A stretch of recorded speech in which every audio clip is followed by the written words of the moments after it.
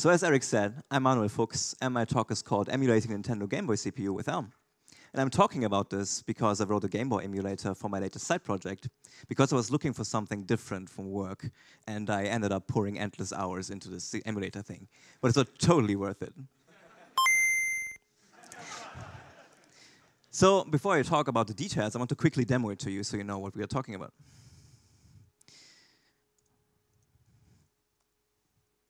Doesn't come up, that's awesome. Yeah.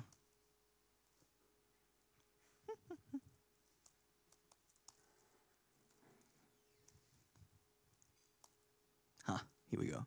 So I don't see this, so I have to do it like this. All right, so this is what Elmboy looks like. This is the special Oslo Elm Day uh, version in big. So, and everything you see here is purely Elm. There are only two ports, one for pushing raw pixel data onto the canvas and one for uh, pushing raw audio samples to the web audio API. So with a click, I can select the ROM here, and I would select, of course, Tetris. So I have to wait a bit for the title screen to be over, but after that, here we go. So I can play this like you would expect it to work, right? It has sound, audio, graphics, everything. Of course, can run other games, but I don't want to waste time doing playing games on, on stage.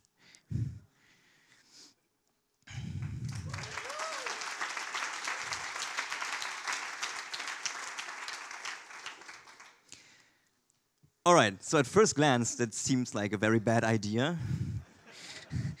um, because emulating hardware is a super low-level task, right? It's imperative as it gets, it's performance critical, and Elm is pretty much on the other end of the spectrum, right? We have a high-level functional language that compiles to JavaScript that then runs in browsers, which then run on CPUs, and you get the point, right?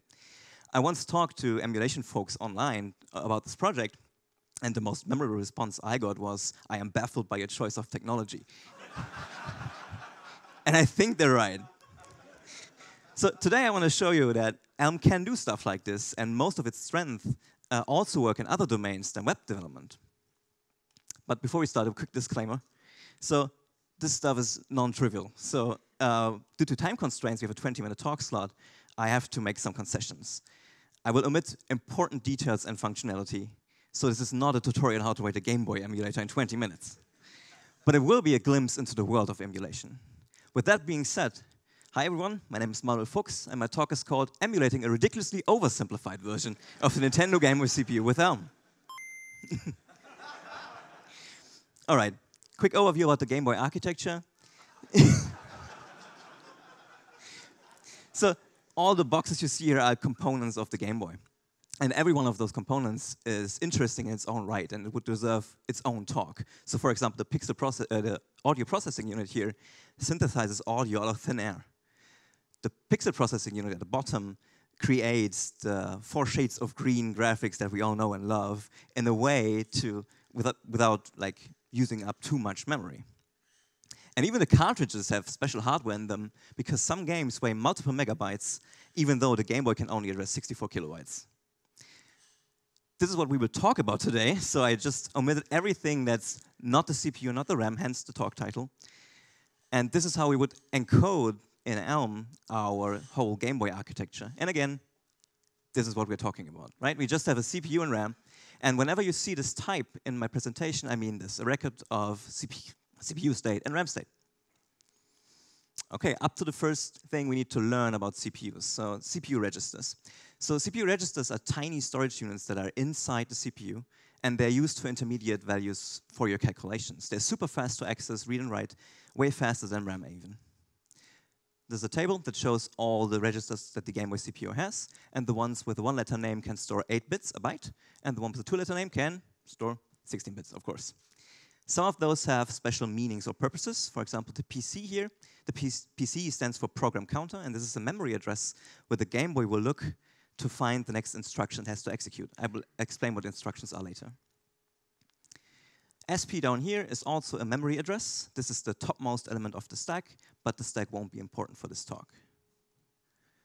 The F register, F stands for flags. So some instructions set or unset bits in this register to give us information about the last instruction's result. For example, if we decrement a value and it becomes zero, the zero flag will be turned to one. And we can use this to branch out and have like logic and if statements, basically. Lastly, the A register is kind of special. You can use it freely as you want.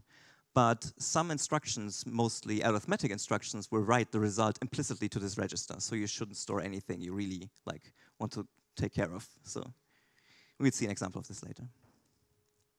How would we encode this in Elm? Again, we could just use a record, right? We have for every register a field and an appropriate type for the value inside this register. And I use word 8 and word 16 here, and I have to do a quick detour to explain what those are, right? So unluckily, um, doesn't have native types for 8-bit unsigned data, right? And the same is true for 16-bit. But luckily, Elm makes it very easy for us to implement something like this. This is what it could look like. So we have a module called word8 that creates or defines a custom type named word8 that wraps an integer. And we don't expose the constructor here, so this type will become an opaque type. So no other module than this module could create values of word8. What other modules are supposed to do is create um, word8 values from the fromInt function, which will mask off the least significant bit, byte of the value and put it into a word8. So CPU instructions. I mentioned them before, and you probably have an idea what they are. Those are the low-level instructions the CPU can perform in hardware. So for example, adding two numbers together, incrementing, decrementing values, reading or writing for RAM. You get the point. And in Elm, we would talk about them like this. They're functions from our model to our model. Very like similar to what update in the Elm architecture does. And every instruction can modify the whole Game Boy state. So if we have more uh, components that we would emulate, uh, instructions could change those as well. Here's another one to drive the point home, right? We have our state and pipe it through all the instructions. In the end, we get the resulting uh, state of the Game Boy. So again, on the left-hand side, we have the registers here, and the program counter is pointing into memory at address 0 here. And at address 0, the instruction NOP is uh, like is encoded there. And NOP means no operation. This literally does nothing. And the Game Boy is so fast, it can like do 1 million of those per second. um, so if the Game Boy executes these instructions, it automatically increments the PC by one.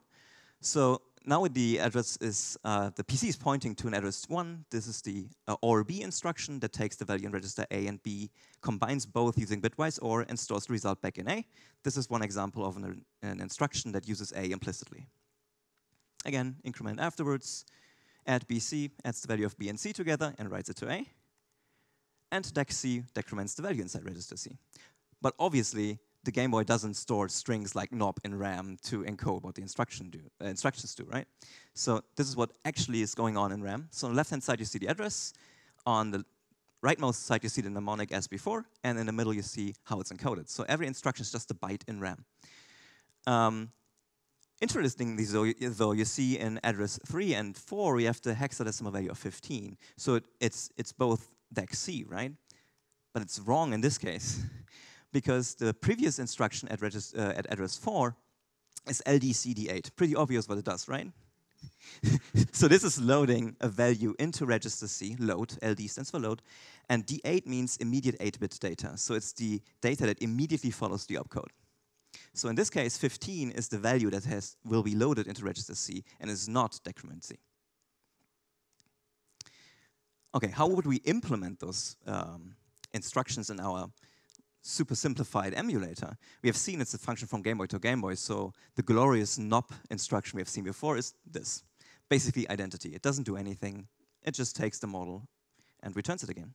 Here's another one, load BC. This is loading the value of register C into B. And what we do for that is just we update the record state, the record for the CPU, so that B contains C, and then we update the Game Boy state so that it contains the updated CPU state. The instruction set of the Game Boy contains around 500 of those instructions. and you need to implement all of them to get like Tetris running. And what you see here is a picture of the sheets I used to keep track what I had implemented and what was missing. all right, the last component we need to talk about is RAM. And if you recall, this, the CPU isn't really connected to RAM, right? So the CPU is connected to something that's called a memory management unit. And I will briefly explain what it does. So if you want to communicate with other components, the only way to do so is via RAM. So at least it looks like RAM to the CPU. When the CPU is reading from a certain memory address, for example, the MMU will route the read to the joypad, and we get back a byte that indicates which buttons have been pressed. And it also works the other way around. I could write at a certain memory address, and the MMU will then tell the APU that produces the sound to change the pitch of a certain channel. But again, 20 minutes, so this is what we're building. we're connecting this directly to RAM, and it's enough to run a simple program. Quickly, we just wrap array of word 8, have some convenience accesses to that so we can uh, use it more easily. No magic going on, it's just a bunch of bytes. With all the types out of the way and the infrastructure, uh, we can write the main emulation loop. And this is the function that will be called around a million times per second, so it needs to be super fast. This is what it looks like, at least for a simple emulator. uh, first, we read the opcode from uh, RAM based on the current PC value of the registers inside the CPU. Then we will use this opcode to look up an instruction handler, the function from Game Boy to Game Boy, with this function. Then we will update the PC so it's incremented to point to the next instruction in RAM. And then we execute the instruction handler. Easy. So this is what the find instruction handler looks like. It's just a mapping from bytes to functions of Game Boy to Game Boy. In my emulator, this is like a 2,000 line file. just a mapping. And this is all we need. And you might uh, wonder, all we need for what? So I built a demo. I built another emulator that uses only what we have been talking about. So it's a super dumbed down version of the emulator. And we will emulate a program that calculates Fibonacci numbers and stores them in RAM. And even though it's oversimplified a lot, this program would actually run on a real Game Boy. Right.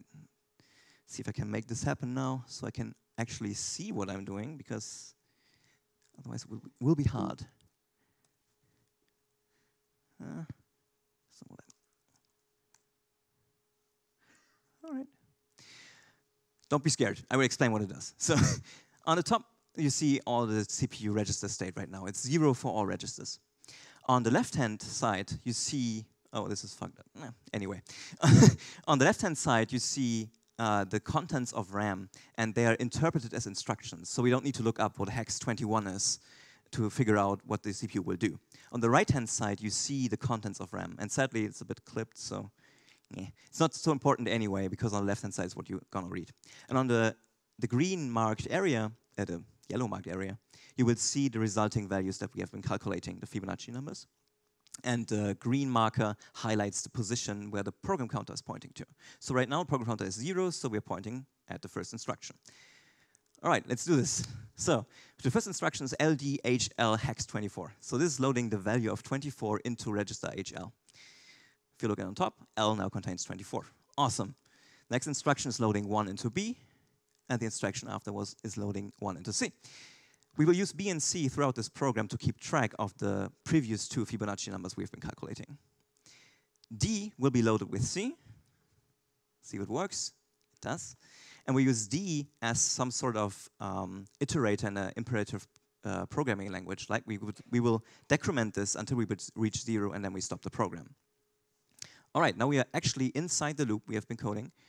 Uh, and we will load the value of C into A. So A will become 1. Then we will add the value of b into a. Hopefully it will too. Awesome. Then we will load the value of c into b. We're shifting the value 1 to the left. It doesn't do anything right now. And then we load the result that we, that we have been calculating from a into c. So again, b and c are containing is containing the, the last uh, two calculated Fibonacci numbers. Okay, this one is scary. This is load in parentheses HL plus A. And this is an, uh, an instruction that is done or inside the instruction set for stuff like this, iterating and writing values to RAM. So it will write the value inside register A into memory where HL is pointing to, currently 24, and will then increment HL afterwards. This is a performance optimization, basically. So if I do this, we can see that 2 showed up at hex 24, and L became 25. Then we will decrement D. I told you, we will decrement this until it reaches 0. All right, jump NZ9. So this will change the contents of the program counter to 9 if the zero flag has not been turned on. And the instruction uh, we had before, decrement D, did not result in a zero, so the flag is not turned on. So we will change our PC to 9. And here we are again. We will loop through this again and again. So I do it a bit quicker, and if you look in the yellow mark area, you see two, three, five, 8, and so on. If I quicker, you can see all the Fibonacci numbers turning up. And as I said, this is a real Game Boy program. It would run on a Game Boy. You would have no way of seeing the results because it's in RAM, but yeah.